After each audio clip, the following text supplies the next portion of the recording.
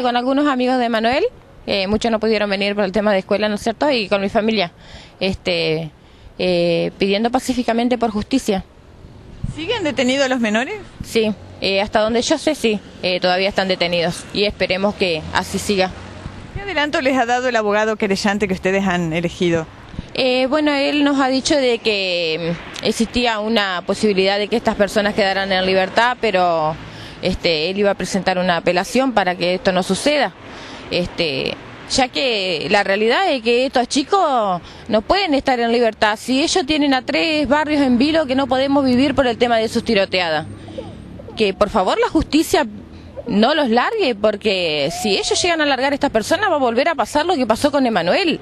¿Cambió la situación desde las marchas que han venido realizando hace ya dos semanas? Sí, gracias a Dios sí. Hemos hecho marcha por la paz con el padre de la iglesia Santa Rafaela y el pastor de la iglesia evangélica y gracias a Dios sí, estamos tranquilos.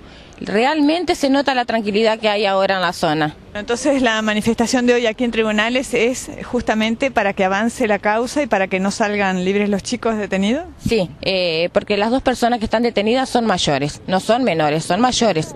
Y sí, nosotros el pedido nuestro es que estas personas sigan este, donde están, eh, porque el barrio la verdad que está tranquilo, se ha terminado el tema de los tiroteos y bueno, no de- el pedido mío en especial es por justicia para Emanuel, porque con 16 años no se merecía lo que le pasó va a él, ni ningún chico se merece que le arrebaten así la vida, pero menos él, porque era una criatura inocente.